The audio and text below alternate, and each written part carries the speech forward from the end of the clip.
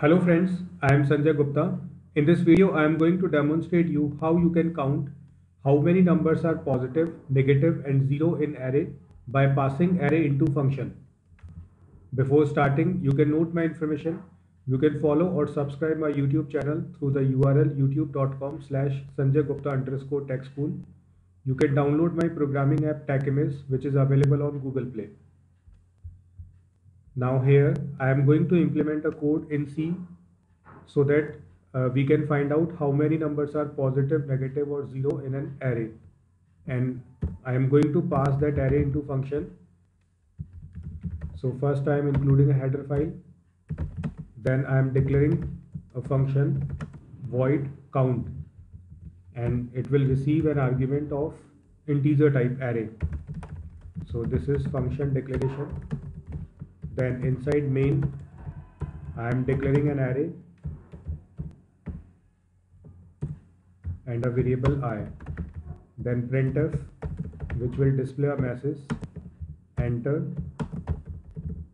10 numbers.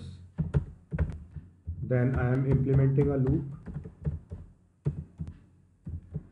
which will repeat 10 times and it will receive 10 numbers from user with the help of scanf and all those numbers will be assigned into array A at different indexes.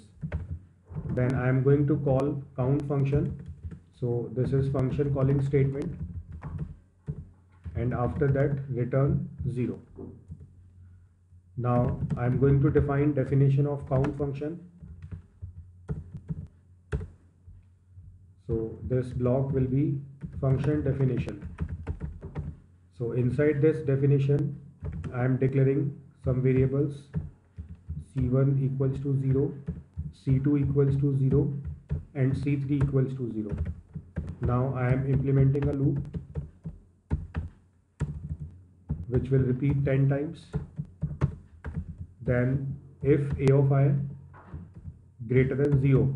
So if this condition is true, then number is positive. So I am counting C1 plus plus then else if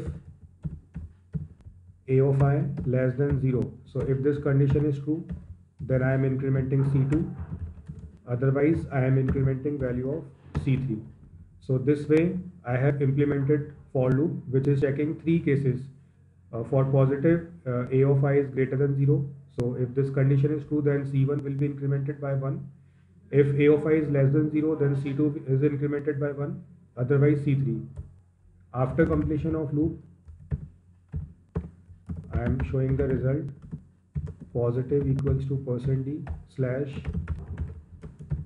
negative equals to percent %d slash n.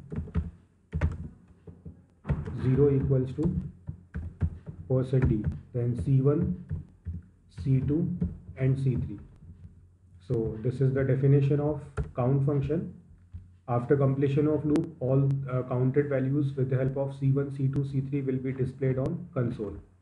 Now I am executing this code. You can see it is asking for 10 numbers.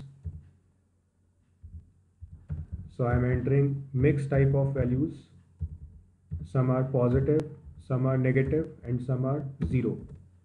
So you can see positive numbers are 4, negative are 3 and 0 are 3.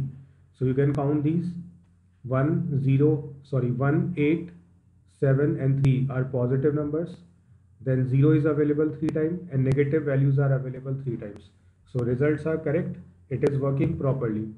So i hope you have understood how we can pass an array and count how many numbers are positive negative or 0 in array if you want to watch more programming related videos, you can follow or subscribe my YouTube channel through the URL youtube.com slash Sanjay underscore tech school.